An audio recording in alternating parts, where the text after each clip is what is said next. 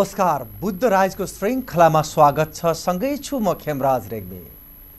आदरणीय महानुभावहरू यो कार्यक्रममा विभिन्न व्यक्तित्वसँग हामीले कुराकानी गर्छौँ। विशेष गरी पछिल्लो राजनीतिक घटनाक्रमलाई हामीले उठान गर्दै आएका थियौँ। एउटा अस्थिरता मुलुकमा जसरी जन्मिरहेको छ। जब संसद विघटन गर्ने काम भयो संसद विघटनपछि त्यसको मुद्दा अदालतमा विचाराधीन त्यस बहस पैरवी भइरहेको छ। यसले आम नागरिकलाई अब देश कतातर्फ जान्छ भन्ने एउटा गम्भीर अवस्थामा उभ्याएको छ। र हरेकका आफ्ना अवधारणा छन् हरेकका आफ्ना सोच र विचारहरू छन्। पुनर्स्थापना हुनुपर्छ भनेर एकातर्फ विभिन्न पार्टीहरू सडकमा हुङ्कार गरिरहेका छन् भने सरकार आफै वास्तवमा सरकारको समर्थन जुटाउने कार्यमा पनि जुटिरहेको देखिन्छ। यस्तो परिस्थितिमा आज यो मुलुक बल्झिरहेको छ अल्झिरहेको छ।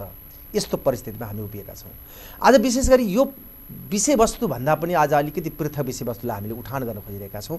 विशेष गरी आज नेपाल क्रसर तथा खानी उद्योग व्यवसायी महासङ्घको महाधिवेशन बुटवलमा हुँदैछ। देशभरिका सात सयभन्दा बढी उद्योगीहरू अहिले बुटवलमा जम्मा भएका छन्। विशेष गरी करसर व्यवसायले जुन ढङ्गबाट आफ्नो कार्य गरिरहेका छन् यसलाई सरकारले पनि त्यति वैधानिकता दिन सकेको छैन। विभिन्न मापदण्ड सरकारले तोकेको छ। यो मापदण्डभित्र रह्यौ भने काम गर होइन भने बन्द गर। यो खालको परिस्थिति सृजना भइरहेको छ।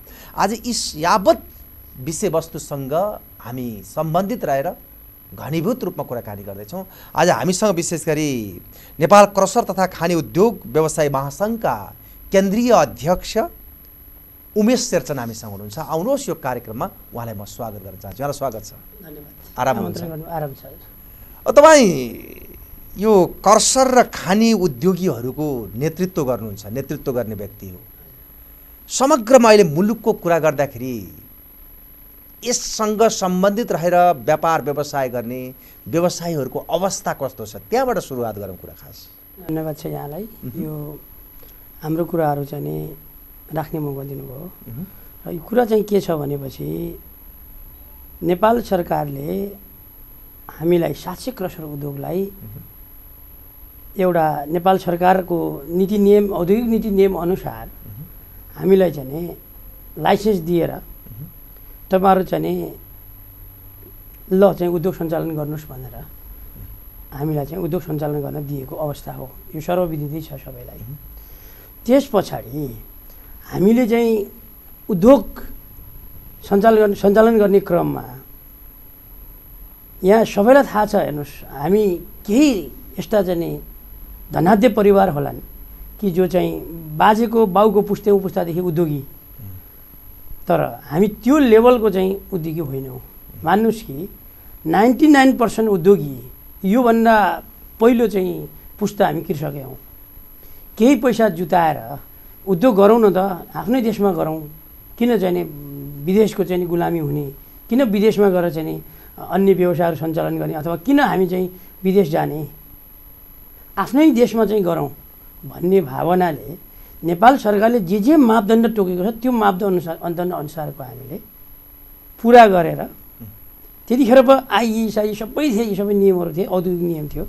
त्यो नियम सम्पूर्ण पुरा गरेर तपाईँहरूले चाहिँ ल लाइसेन्स लिनुभयो अब उद्योग सञ्चालन गर्नुहोस् भनेर दिएको अवस्था हो। त्यस पछाडि हामीले हामी कृषक योभन्दा अघिल्लो पुस्ता चाहिँ कृषक भइसकेपछि त हामीसँग त्यस्तो पैसा त कहाँ आउनु अनि ब्याङ्कसँग वित्तीय संस्थासँग हामीले लोन उठाएर आज हामीले काम गऱ्यौँ। नेपाल राष्ट्र ब्याङ्कको दातामा छ चालिस अरब रुपियाँ नेपाल क्रसर उद्योगमा आबद्ध भएका क्रसर उद्योग व्यवसायीहरूलाई लोन छ। अब तपाईँको हामी राति सुत्यौँ बिहान उठ्दाखेरि कुनै हाम्रो सरकारै छैन। अथवा चाहिँ हाम्रो चाहिँ नि हेडक्वार्टर चाहिँ नि उद्योग वाणिज्य महासङ्घमा के जानकारी हुनुपर्छ? केही कुराको जानकारी छैन। बिहान राति सुतेर बिहान उठ- उठ्दाखेरि हाम्रो कृषि उद्योग अवैध भइदियो। के भयो त भनेपछि नेपाल सरकारले तपाईँको चाहिँ एकजना वकिल साहबले चाहिँ नि मुद्दा दिनुभएछ सर्वोच्चमा। यो क्रसरले विधिति गर्यो यो गर्यो ऊ गर्यो भनेर। त्यसको आधारमा सर्वोच्च अदालतले चाहिँ आदेश दियो। सडसठी साल चार महिना एक्काइस गते आदेश दियो। के आदेश दियो त भनेपछि यो के भएको हो यो? यसरी चाहिँ यो के के को विधिति हो या होइन? एउटा कमिटी गठन गरेर यो सरकारवालाको चाहिँ कमिटी गठन गरेर तपाईँहरूले यसको चाहिँ रिपोर्ट पेस गर्नुहोस् भनेर चाहिँ आदेश दियो। त्यो दिँदाखेरि के भयो भने पाँचवटा मन्त्रालयको चाहिँ भित्र यो गितीबालासँग सरकार। गृह मन्त्रालय अब हजुरको चाहिँ यो स्थानीय त्यतिखेर स्थानीय विकास मन्त्रालय भन्थे स्थानीय विकास मन्त्रालय त्यसपछि उद्योग मन्त्रालय त्यसपछि आएर वातावरण मन्त्रालय लगायतका सबैलाई राखेर तपाईँहरूले चाहिँ यो एउटा चाहिँ प्रतिवेदन दिनुहोस् भनेर सर्वोच्च भयो र त्यो प्रतिवेदन दिँदाखेरि त्यो प्रतिवेदन दिनेले चाहिँ कसैसँग सरकार छैन सम्बन्धित पक्षलाई पनि जानकारी छैन। उहाँहरूले के दिनुभयो त भनेपछि खोलाबाट पाँच सय मिटर टाढा हाइवेबाट पाँच सय मिटर टाढा घनाबस्ती शिक्षण संस्था लगायत मठ मन्दिरबाट दुई किलोमिटर टाढा र प्रहरी चौकी अझ विशेष गरी प्रहरी चौकी भन्दा दुई किलोमिटर टाढा र हाइटेन्सन लाइनबाट पाँच सय मिटर टाढा भनेर उहाँहरूले एउटा मापदण्ड बनाइदिनु भयो। हाम्रो त्यतिखेर के मापदण्ड छ पुरानो? हाम्रो लाइसेन्स लिने बेलामा खोलाको चाहिँ मापदण्ड छँदै छैन। तिमीहरू चाहिँ फोहोर गर्ने धुलो उडाउने तिमीहरू खोलामै जाऊ भनेर खोला किनारको कुनै मापदण्डै छैन। हाइवेको जम्मा पच्चिस मिटर जुन अहिले रोडको जुन हाइवेको चाहिँ अस्सी मिटर भन्ने चलन छ दायाँमा त्यो कडाएर गर्न पाउने भन्ने छ। र अन्य सरजीवन मूल्यका गरेर तपाईँहरूले चाहिँ गाविसमा सरकार गरेर एउटा सूचना ताँच गरेर तपाईँहरूको चाहिँ कसैले बाधा विरोध आउँछ आउँदैन। नआएपछि तपाईँले लाइसेन्स दिनुहोस् भनेर गरेको अवस्था। यानि कि सम्पूर्ण नीति नियम पुऱ्याएर हामीले गरेको अवस्था। जस्तै यहीँनिर यहीँनिर उमेशजी म यहाँनिर तपाईँलाई जोड्न चाहेँ। हजुर। हरेक मानिसले स्वच्छ र स्वस्थ वातावरण खोज्छन् होइन? स्योर तपाईँहरूलाई विद्यालय मठ मन्दिरबाट दुई किलोमिटर दूरीमा राख।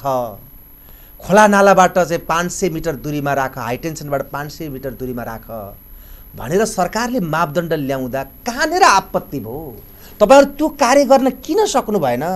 तपाईँहरू पनि त वातावरण मैत्री हुनु परेन खास गरी। किन सक्नु भएन तपाईँहरू? यो कुरा म यहाँलाई यसरी प्रश्न गर्न चाहन्छु।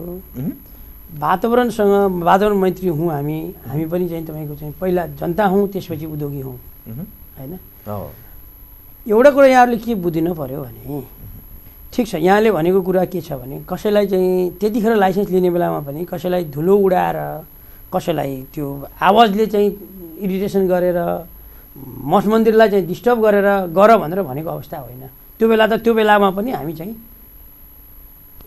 स्वीकारेरै हामीले लाइसेन्स लिएको आजको अवस्थामा पनि हामी स्वीकार्न तयार छौँ।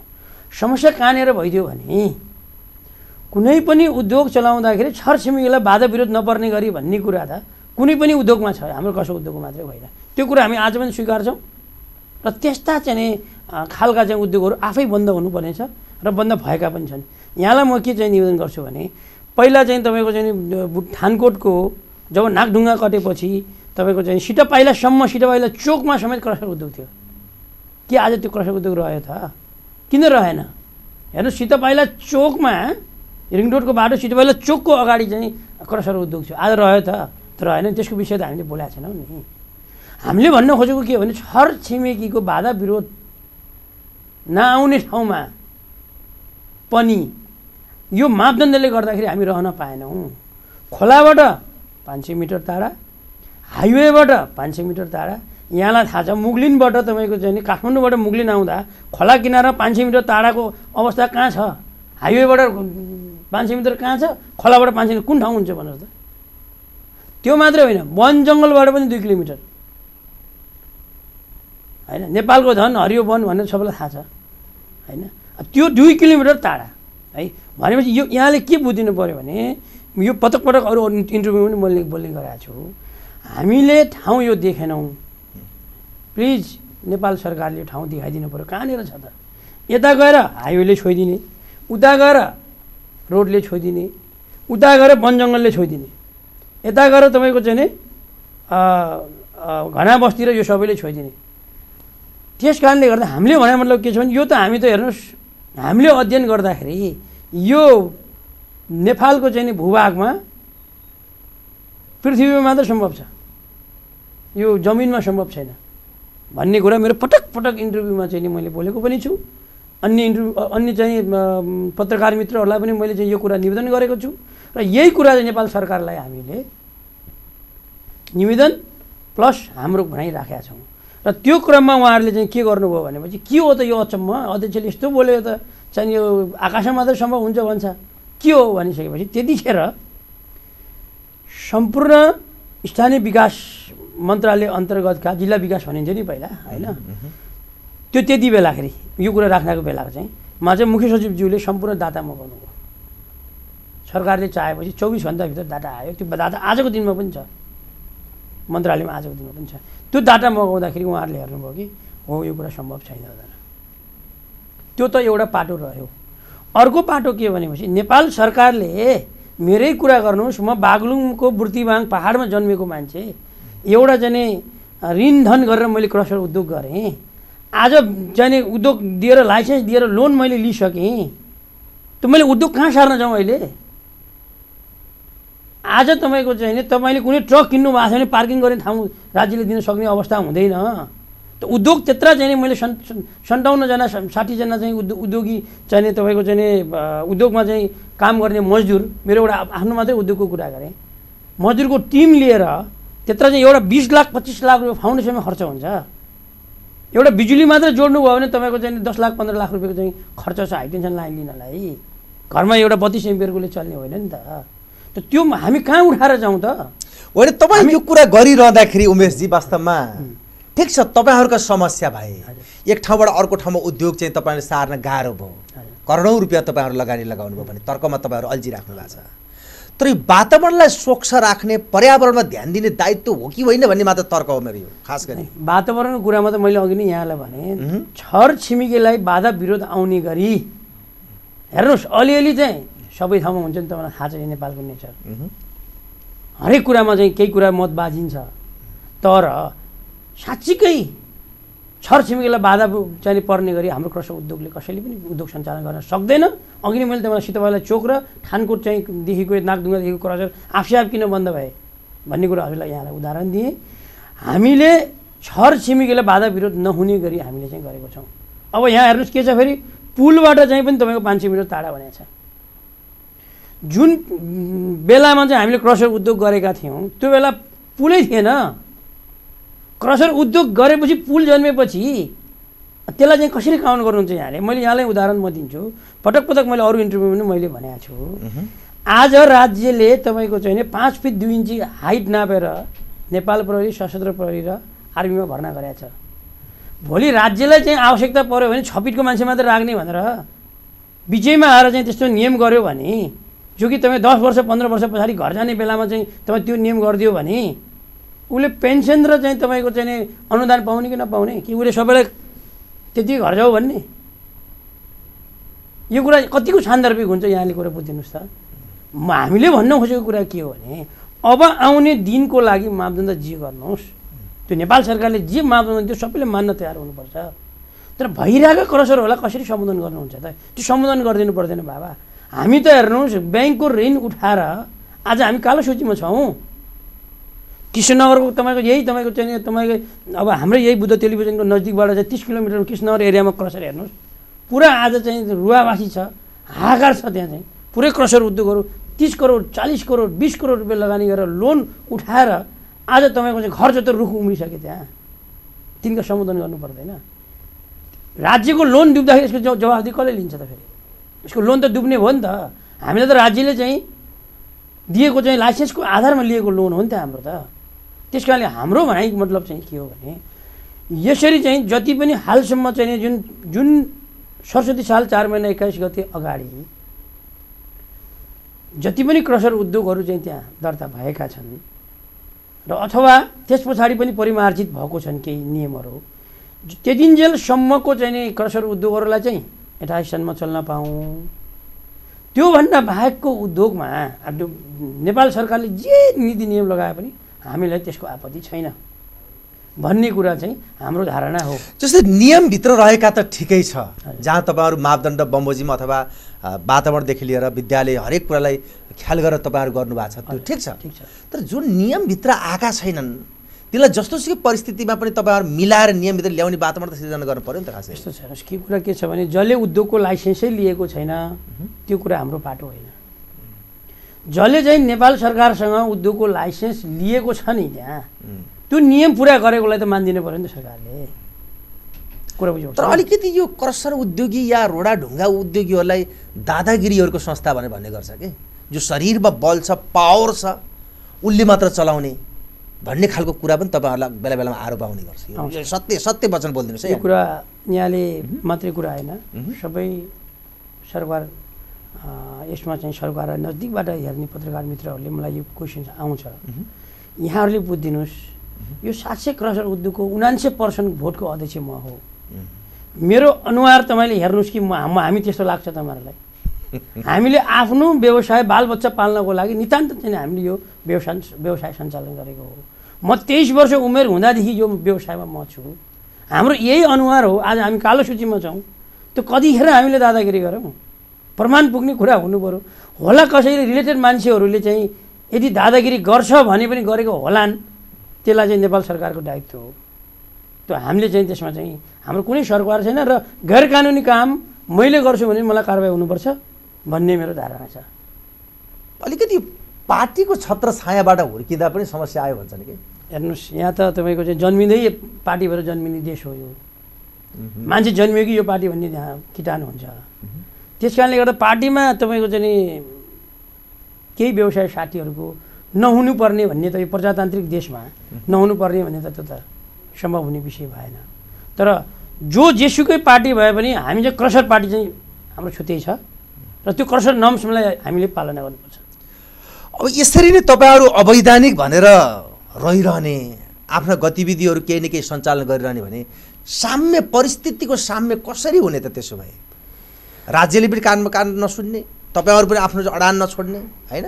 यो परिस्थितिबाट वास्तवमा एउटा चाहिँ सही निचोड र सही निकास त हुन सकेन। यस्तो छ यो चाहिँ नि यहाँहरूले के बुझिदिनु पऱ्यो भने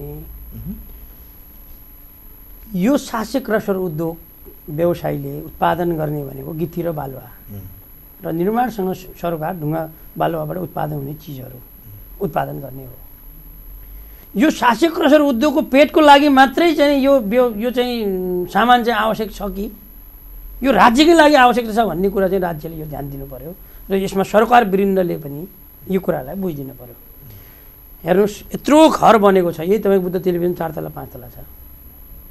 काठ तपाईँको जम्मा तपाईँको दुई एक पर्सेन्ट युज हुन्छ यहाँ। अब त अब तपाईँको एल्युमिनियमले गर्दा झन् पोइन्ट फाइभ होइन कि? पोइन्ट टू फाइभमा युज भइसक्यो। तर अर्को चाहिँ बालुवा पुरै धनान गर्दाखेरि कति पर्सेन्टेज चाहिँ हाम्रो चाहिँ सामान चाहिँ र मेटेरियल युज हुन्छ? यो कुरा सबैले घर व्यवहारिक कुरा बुझौँ त। जो कि तपाईँको चाहिँ नि यो पोइन्ट फाइभ अथवा चाहिँ नि पोइन्ट टू फाइभ भन्दा अघि मैले भने काठको युज गर्ने क्रममा पनि त उपभो उपभोक्ता मार्फत तपाईँको काठ काट्न दिइन्छ नि त। आवश्यकताको सिद्धान्तमा लगाएर। र त्यो काठलाई हेर्ने विभाग छ मन्त्रालय छ उपभोक्ता समिति छन् हरेक कुराको चाहिँ व्यवस्थित गरिएको छ। तर यो जो कि एउटा कन्स्ट्रक्सनमा उनान्सय पर्सेन्ट भूमिका रहन्छ गिद्दी बालुवाको यस्तो उद्योगलाई अनुगमन गरेर एउटा विभाग किन खडा गर्न सकिँदैन। यो बारम्बार हामीले भनिराखेका छौँ। सरकारले चाह्यो भने के चिजको सम्भव छैन भन्नुहोस् न। रोयल्टी हेर्नुहुन्छ भने हेर्नुहोस्। कुनै बेला हामीले चाहिँ क्रसर उद्योग मेरो सिन्धुपाल्चोकमा हो। पचास हजार रुपियाँको ठेक्का अहिले चार करोड पाँच करोड रुपियाँ भएको छ। त्यही सिन्धुपाल्चोकमा अहिले बिस करोड तिस करोडको चाहिँ ठेक्का भएको छ। त्यो त हामी जस्तै उद्योगीले निकालेर भएको न हो। त विवाद चाहिँ के हो त? भनेपछि यसलाई तगडा रूपले चाहिँ अनुगमन भएन।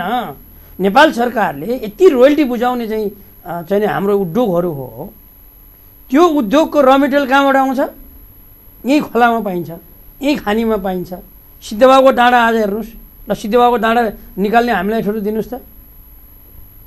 हामीले त्यो चाहिँ तपाईँको चाहिँ नि पाँच वर्षभित्रमा सिद्धबाबु पुरै डाँडा हामी साफ गरिदिन्छौँ।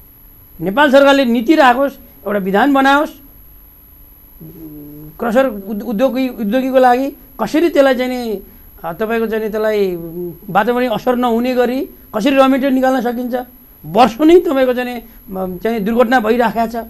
त्यो सिद्धबाबुको डाँडाको के काम छ भने मतलब यस्ता खालका सिद्धबाबु जस्तो डाँडा पनि एक सय त्रिसठी ठाउँमा चाहिँ खाने विभागले चाहिँ प्रमाणित गरिदिएको छ त्यो किन निकाल्न नदिने है सुन्नु- यस्तो छ कि प्राकृतिक संरचनाहरू मासेर सिद्ध्याएर व्यवसायलाई चाहिँ तपाईँ मजबुत गराउँ भन्ने कुरा त वास्तवमा सान्दरी भएन नि त। पत्रकार मित्र त्यसको पनि आफ्नै महत्त्व होला। अर्कोतर्फ कहाँनिर के छ, भने। तपाईँहरू जस्तै ठेक्का पट्टा सबै दादागिरी भएर हुने गर्छ। कि? होइन। कति कति चाहिँ सामग्री निकाल्ने। के त्यो मापदण्डभन्दा छ, विपरीत गरेर तपाईँहरू कार्य यहाँहरूलाई म जानकारी गराउँछु र यो सम्पूर्ण चाहिँ नि यो हाम्रो चाहिँ नि इन्टरभ्यू सुनिरहेका सम्पूर्ण सरकार वृन्- वृन्दलाई म के चाहिँ यो जानकारी गराउँछु भने क्रसर बा व्यवसायीले आज सिद्ध बाबाको दाना चाहियो डाङ्की ड्याङ हामीलाई भड्काउँदै भन्ने होइन। त्यसको नीति नियम छ। पहिला चाहिँ के हुन्छ भने स्थानीय सरकारले त्यहाँ अध्ययन गर्छ। स्थानीय सरकारले अध्ययन गर्दाखेरि कुन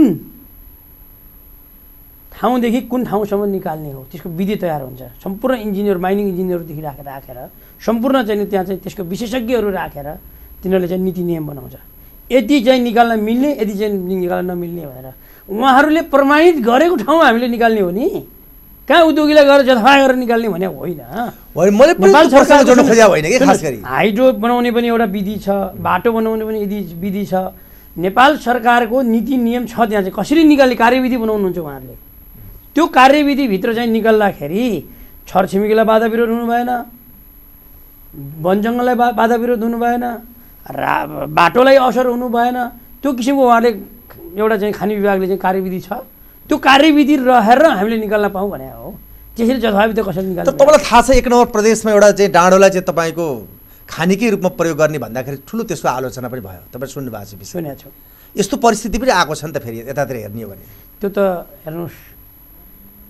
कुनै पनि काम गर्दाखेरि विकास गर्दा विनाश हुन्छ हेर्नुहोस्। यहीँ बुटोल भैरवाको बाटो बनाउँदा कति चाहिँ तपाईँहरू चाहिँ धुलो धुवा खाएर बसेकै अवस्था हो नि? बाटो पनि बनायो भने नि अनि धुलो धुवा पनि खान्न भन्ने त कसरी हुन्छ? यो त विकास गर्दा चाहिँ विनाश त हुन्छ नि तर विनाशलाई चाहिँ न्यूनीकरण गरेर विकास गर्नु पऱ्यो कि? कुरा बुझ्नु भएन। त्यो हाम्रो भनेको अर्थ के हो भने त्यो र मेटेरियल निकाल्ने कुरामा त हाम्रो कुनै विवादै छैन। जस्तै अहिले पनि जस्तै यही हाम्रो चाहिँ तपाईँको तिनौ खोलामा लगायतका चाहिँ विभिन्न शाखा खोलाहरूमा अहिले ठेक्का लागिराखेका छ नि त। त्यहाँ त स्थानीय सरकारले अहिले स्थानीय सरकारलाई चाहिँ अधिकार दिएको छ। उहाँहरूले बनाएको नीति नियमभित्र रहेर हामीले निकाल्ने हो नि त्योभन्दा बाहेकमा त हामीले निकाल्न पाउँदैनौँ नि त। कुरा बुझ्नु? यस्तो छ कि? तपाईँहरू स्थानीय सरकारले एउटा नीति बनाउँछ सरकार त वास्तवमा कुन किसिमबाट काम गर्छ भन्ने आम नागरिकले बुझेकै कुरा हुन् तर मिले मतमा जहाँ गर्नै नमिल्ने काममा पनि तपाईँहरू अग्रसर भएको देखिन्छ कतिपय ठाउँमा हेर्नुहोस्। हेर्नुहोस्। त्यो सत्य बोल्न हामी हिचकिचाउँछौँ। ठिक कुरा हो। यो कुरा चाहिँ हजुरले के बुझिदिनु पऱ्यो भने कुनै पनि यो क्रसर व्यवसायीको तपाईँले चाहिँ इलिगल मिले मतमा गऱ्यो भन्ने कुरा गर्नुभयो। हाम्रो क्रसर व्यवसाय महासङ्घको धारणा के छ भने नेपाल सरकारले टोकेको नियमभित्र रहेर हामीले काम गर्ने हो। त्योभन्दा बाहेकको कुरामा त त्यो त सरकारले जान्नु पऱ्यो नि त। यहाँहरूलाई थाहा सर्वविदितै छ। कुनै बेला चुरे दोहोन भयो भनेर चाहिँ हामीलाई चाहिँ एकदम हेडलाइनमा चाहिँ नेपालको चाहिँ एकदमै चर्चित पत्रिकामा पनि चाहिँ हामीले हाम्रो क्रसर व्यवसायहरूले को दोहन भनेर हामीले चाहिँ देखियो। कुनै ठाउँमा चाहिँ यसरी चाहिँ क्रसर व्यवसायले निकाले भनेर चाहिँ तपाईँ समाचार दिनदिनै सुन्नमा आउ आउँछ। यो कुरा चाहिँ सबैको ध्यान के जाओस् भने आज म तपाईँलाई विनम्र अनुरोध गर्छु। यो हाम्रो चाहिँ क्रसर व्यवसायमा हाम्रा सदस्यले पनि इलिगल काम गर्न पाइँदैन। नेपाल सरकारको नीति नियम मानेर हामीले काम गर्नुपर्छ। र जसले गर्छ त्यो चाहिँ नेपाल सरकारले। कारवाही गरोस् भन्ने हाम्रो एउटा कुरा समस्या के उमेशजी? वास्तवमा जति उद्योगी आवश्यकता हो नेपालमा जति क्रसर चलाउनु पर्ने हो त्यो आवश्यकताभन्दा बढी मानिसहरू त्यसमा लगानी लगाइरहेको हुन्छन् कि? बढी त्यसमा जोडिने प्रयास गर्छन् त्यसले गर्दा समस्या सृजना हुन्छ।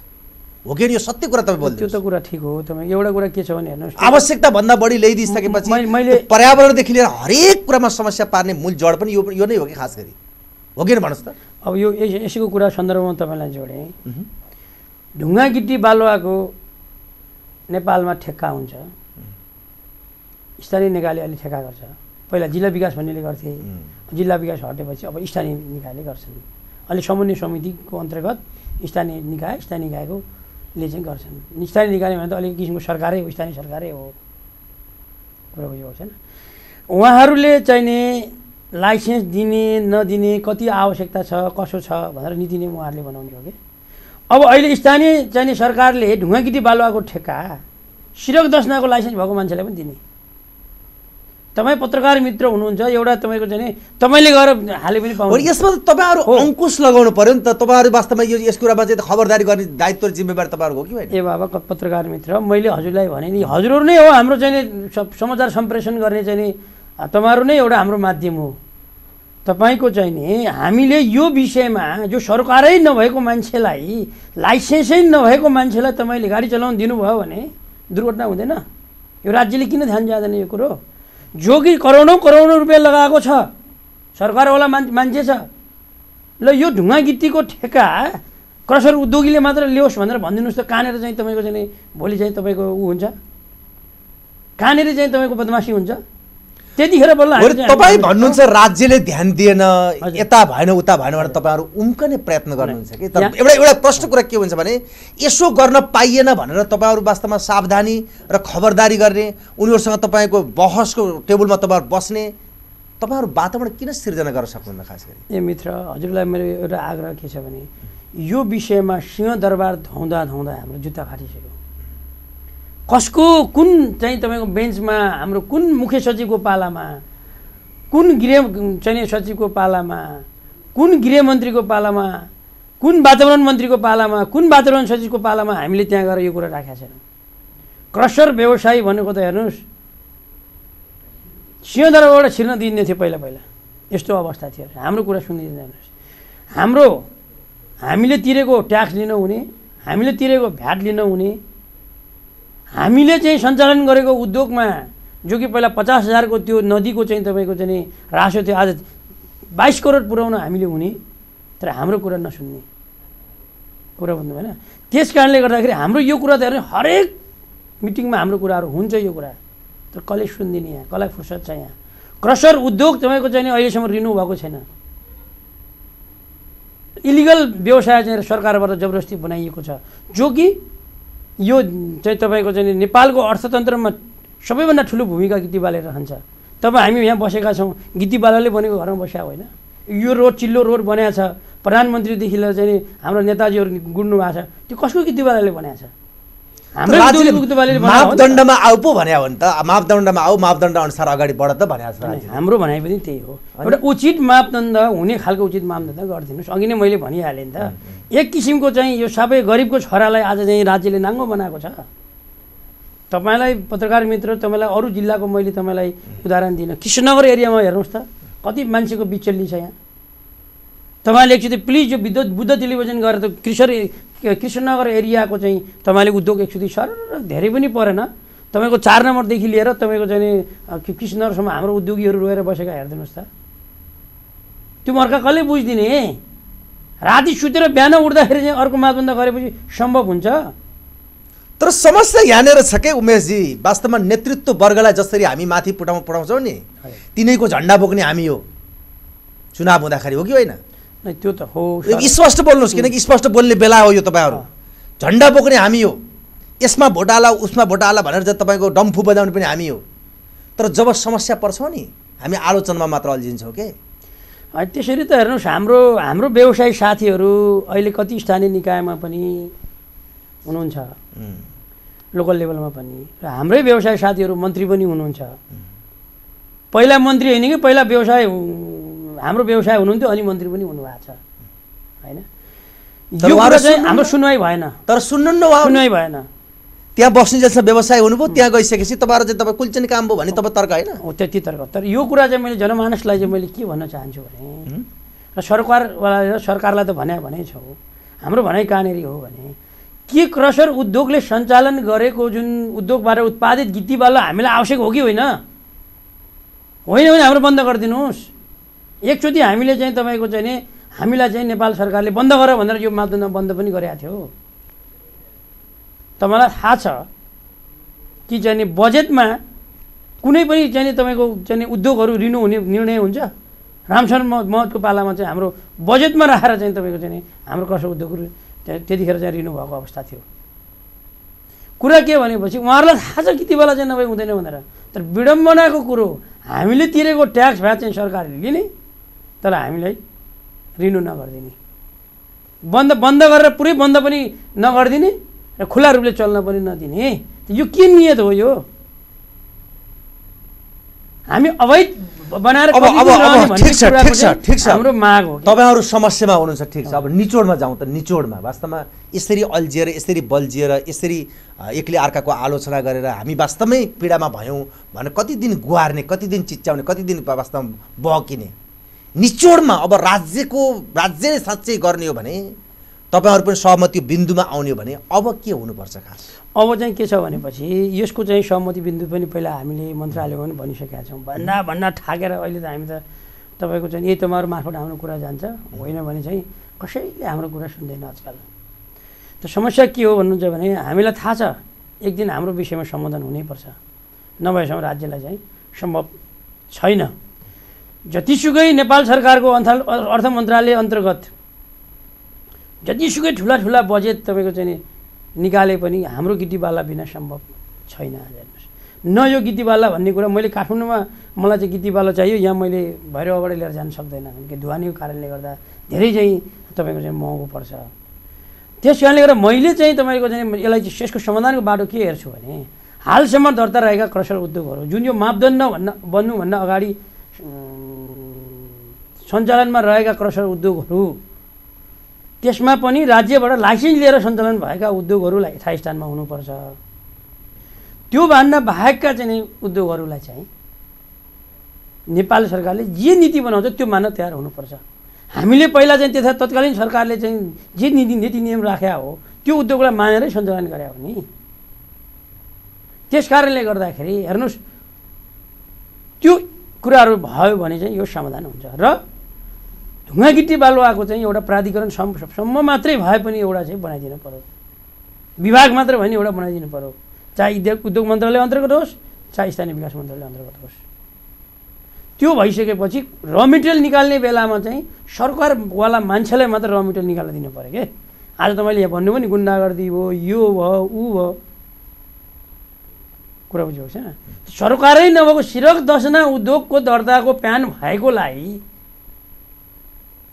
ढुङ्गा गिद्दीको कारोबार गर्ने चाहिँ दिएपछि उसले के गर्छ? आज इलेक्ट्रिसियनलाई तपाईँले वाल लगा भन्यो भने त्यसले के गर्छ? राम्रो बन्छ?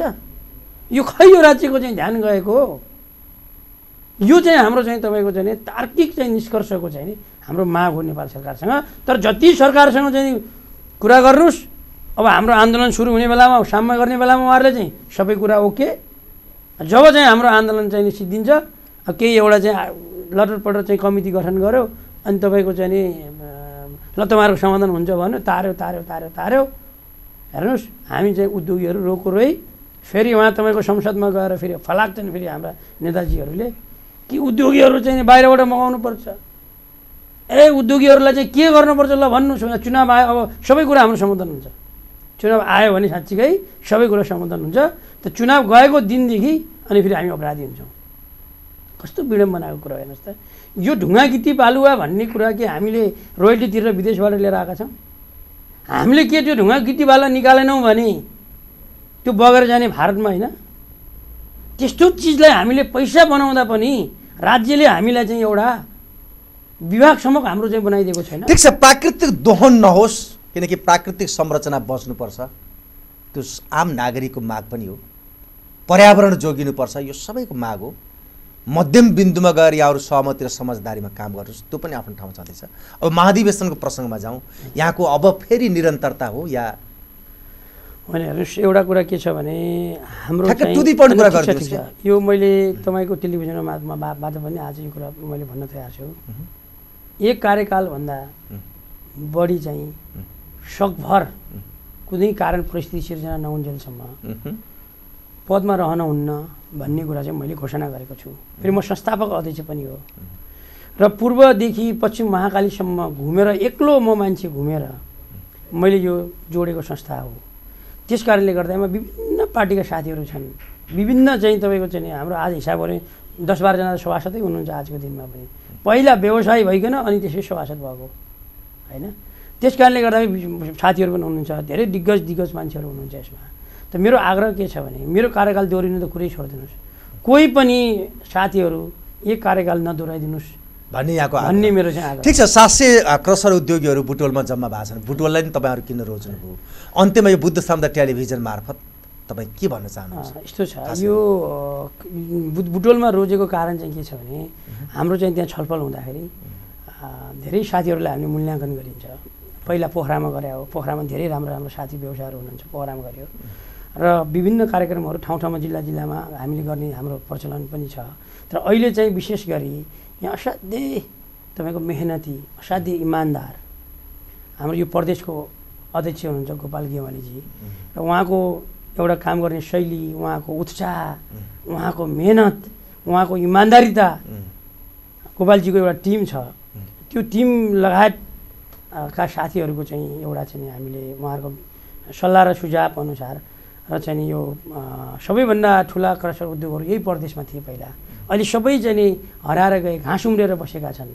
र तिनका कुरा पनि सुनवाई होस् भन्ने हिसाबले तपाईँको चाहिँ यहाँ हामीले गर्ने चाहिँ प्रयत्न गरेका छौँ। महत्त्वपूर्ण समय दिनुभयो यहाँलाई विशेष धन्यवाद। धन्यवाद।